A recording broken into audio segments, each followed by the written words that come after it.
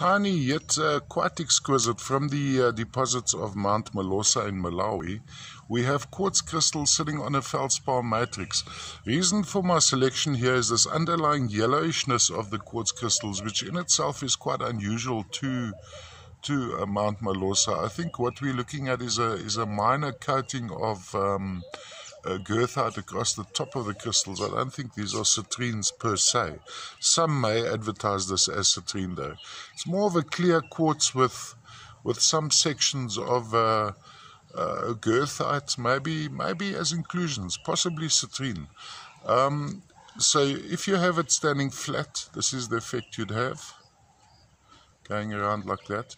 And then looking from the top down, we'd have this effect.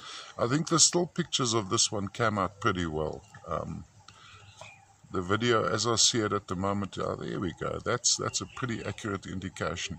Lovely formation. I think there is minor contact, but it's hardly noticeable. Not a very big piece. I think edge to edge here, we're looking at about uh, maybe just under under two inches, just on four centimeters plus. All the way from the deposits of the Zomba Plateau in Mount Malosa, Malawi.